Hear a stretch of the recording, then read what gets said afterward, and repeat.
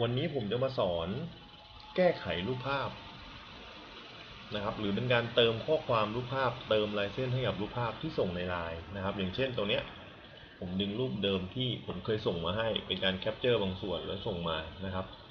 จากนั้นเนี่ยผมเข้า edit เห็นไหมครับ ตัวนี้แก้ไข ตอนนี้เข้าสู่โหมดแก้ไขแล้วจะมีแถบเครื่องมือด้านล่างปรากฏขึ้นมา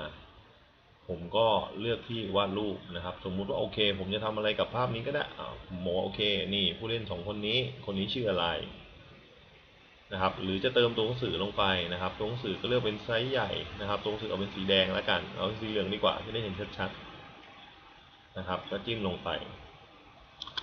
นะครับทีมชาติไทย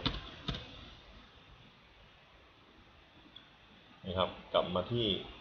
สัญลักษณ์เคอร์เซอร์ที่เขามาเลือก เพื่อขยับตัวหนังสือได้เห็นไหมครับ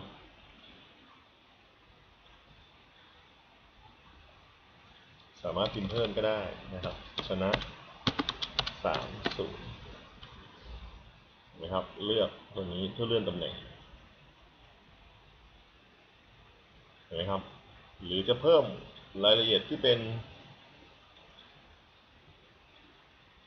ข้อความหรืออะไรก็ได้ครับ ที่เขียนด้วยลายมือก็ได้อย่างเงี้ยครับเราจะใส่อะไรก็ได้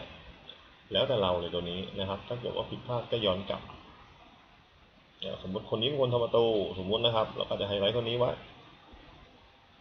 นะครับ จากนั้นพอเสร็จแล้วเราก็โหลดเครื่องหมายถูก แล้วก็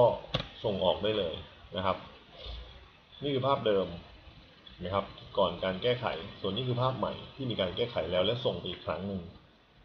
อันนี้ก็จะเป็นวิธีการปรับปรุงแก้ไขภาพที่มีการส่งแล้ว โดยมีการเพิ่มเติมรายละเอียดทั้ง